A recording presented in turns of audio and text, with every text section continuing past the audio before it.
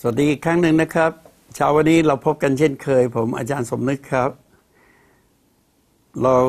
พบกันโดยเช้านี้เราจะใช้พระคำของพระเจ้าหนังสือลูกาบทที่ 21 ข้อ 1 ถึงข้อ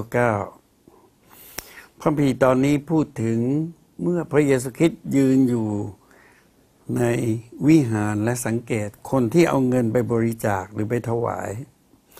พงเห็นคนมั่งมีทั้งหลายนำเงินไปใส่ตู้เก็บเงินถวายและเห็นหญิงไม้คนหนึ่ง พระคัมภีร์บอกว่าซึ่งเป็นคนขัดสนนำเงินทองเหรียญทองแดงสองอันมาใส่ พระเยซูตรัสว่าเราบอกท่านทั้งหลายจริง ๆ ว่าหญิงไม้ยากจนคนนี้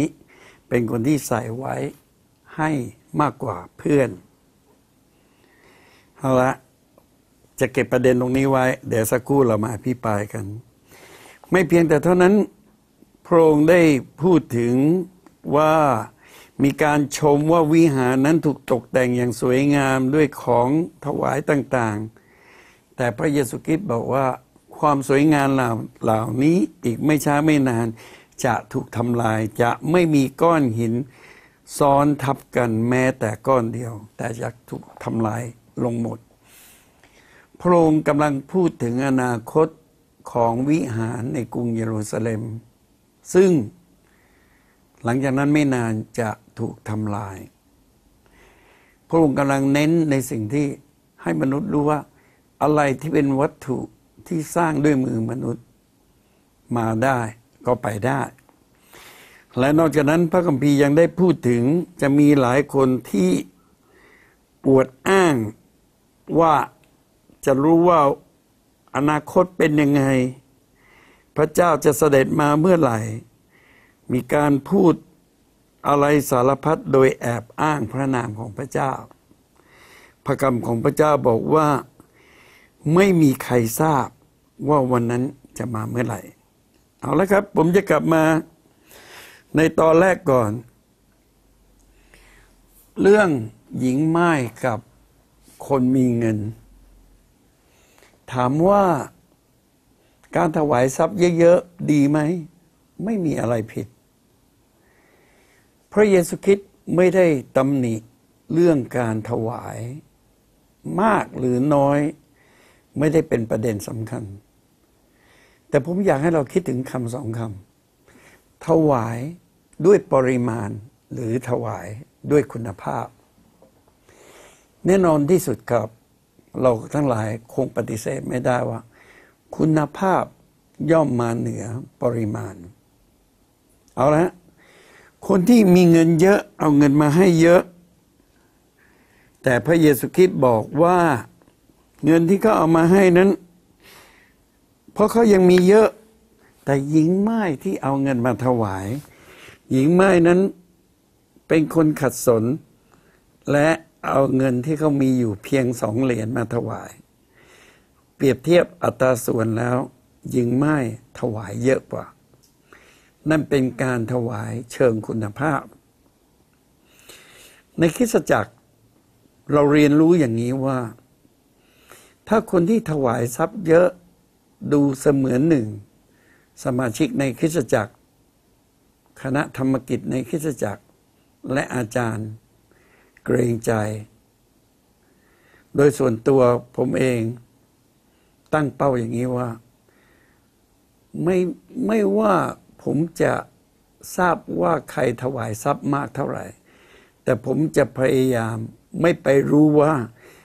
คนที่ถวายถวายเท่าไหร่ แต่ผมจะพยายามระมัดระวังว่า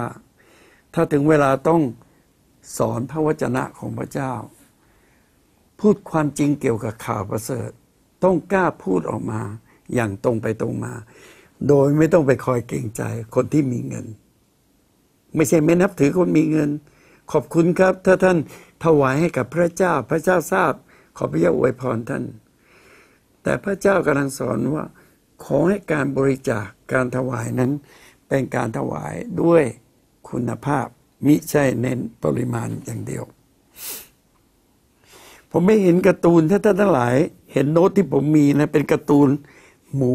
กับไก่สนทนากัน ไก่บอกกับหมูครับว่า เอ๊เรามาเปิดพัตตาคารกัน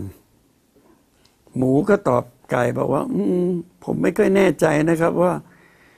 เออถ้าคุณจะเปิดพัตตาคารชื่อพัตคารอะไร ไก่บอกว่า พัตตาคารนี้ค่ะ แฮมและไข่ หมูก็มานั่งคิด หมูบอกว่า ขอโทษครับ อันนี้สำหรับผม ผมไม่ขอร่วมด้วย เพราะว่า ถ้าต้องใช้แฮมนั่นหมายถึง คุณต้องเอาชีวิตของฉัน แต่สำหรับคุณเนี่ยคุณออกไข่ได้ มันคุณไม่ต้องเสียชีวิต แต่ฉันต้องเสียชีวิต เพราะฉะนั้นข้อเสนอนี้รับไม่ได้ ผมเรียกอย่างนี้ดีกว่าไหมครับ ว่าสำหรับไก่ ถือว่าการให้ไข่ก็คือการจิตกุศลนะฮะแต่สำหรับหมูนั้น นั่นหมายถึงว่าบูชายัน นั่นหมายถึงว่าเขาจะต้องสละชีวิตของเขา ผมคิดความจริงอย่างนี้ว่า เวลาที่เราทำอะไรเพื่อพระเจ้าหรือเพื่อคนอื่น ถ้าเราทำด้วยจิตกุศลก็ดีครับ แต่สิ่งสำคัญที่สุดให้เราทำอย่างอุทิศตนจริง ๆ ด้วยชีวิตของเรา พระเจ้าต้องการดูคุณภาพของการอุทิศตน ด้วยการทุ่มเทและทำงานเพื่อถวายเกียรติแด่พระเจ้า เมื่อคืนนี้ที่ร้านกาแฟของเรา ผมไปพบว่า เป็นเวลาดึกแล้วสี่ทุ่มกว่า น้องสองคนที่มาฝึกงานอยู่ เขากำลังอบขนมคุกกี้ ผมเสร็จธุระผมก็เดินไปคุยกับเขาสองคน ผมบอกน้องครับ ทราบหรือไม่ว่าการอบคุกกี้ของหนูนั้น ไม่ใช่ทำเพื่อขายดีในร้านกาแฟ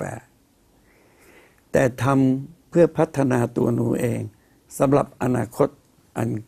ยาวนาน ถ้าหนูทำคุกกี้ได้ดี อนาคตหนูอาจจะเอาความรู้ในการทำคุกกี้ไปต่อยอดได้ มากสักเท่าไหร่ที่ร้านกาแฟของเราในความเป็นคริสเตียน เราต้องการให้คนอื่น ได้ขนมคุกกี้ที่อร่อย แต่ยิ่งกว่านั้นสักเท่าไหร่ เราต้องการให้หนูที่อยู่ในร้านกาแฟ ได้รับประโยชน์ในการที่ทำประโยชน์ให้กับคนอื่น ท่าทีที่สำคัญของการถวายสำคัญ เราถวายเสมือนหนึ่งหญิงคนนี้ไหมที่เสียสละจริง ๆ ประการถัดมา พระคัมภีร์บอกว่าจะมีบางคนที่ชอบพูดว่าเหตุการณ์อนาคตอะไรจะเกิดขึ้น และเกิดขึ้นเมื่อไหร่ พระคัมภีร์ในหนังสือลูกาบทที่ 21 ข้อ 8 บอกว่า พระองค์จึงตรัสว่าระวังให้ดี อย่าให้ใครล่อลวงท่านให้หลง เพราะว่าจะมีหลายคนมาต่างอ้างพระนามของเรา บอกว่าเราเป็นผู้นั้น และบอกว่าวันเวลานั้นใกล้เข้ามาแล้ว อย่าตามพวกเขาไปเลย เราได้ยินความจริงอย่างนี้ว่าคนชอบปวดว่าเขารู้อนาคต แล้วเปิดทีวี มีคนชอบออกมาพยากรณ์มีคนจะบอกว่าปีนี้เป็นปีอะไร คนที่เกิดวันนี้จะเป็นยังไง โชคลาภจะมาสำหรับคนที่เกิดในช่วงนี้ แม้กระทั่งผู้รับใช้พระเจ้า บางทีผู้รับใช้พระเจ้าชอบปวดอ้างสิ่ง ที่ใช้นามของพระเจ้า เพียงเพื่อทำให้คนอื่น มีความศรัทธาในตัวเขามากยิ่งกว่าศรัทธาในองค์พระผู้เป็นเจ้า พระคัมภีร์บอกว่า อย่าไปตามพวกเขาเลยขอเน้นเตือนสองเรื่อง หนึ่งคนที่ชอบตาม คนที่พูดเรื่องอนาคตที่อวดอ้างว่ามาจากพระเจ้าสองตัวผู้พูดที่อวดอ้างว่าสิ่งที่ตนพูดมาจากพระเจ้าสองอย่างนี้ระมัดระวังให้ดี เพราะทุกอย่างที่ออกจากคำพูดของเรา เราจะต้องให้การกับพระเจ้าด้วยเช่นเดียวกัน คอยบทเรียนในวันนี้ที่จะสอนเราทั้งหลาย ที่จะให้โตขึ้นในการติดตามพระเจ้าอย่างแข็งแรงที่สุด ให้เราร่วมใจกันอธิษฐานข้าแต่พระเจ้า ขออวยพรพระคำของพระเจ้าให้เกิดผล ขอพระเจ้าทรงเทพรลงมา ให้กับผู้ฟังผู้ชม และให้กับรายการนี้ที่จะรับใช้พระเจ้าต่อไป ในนามพระเยซูคริสต์อาเมน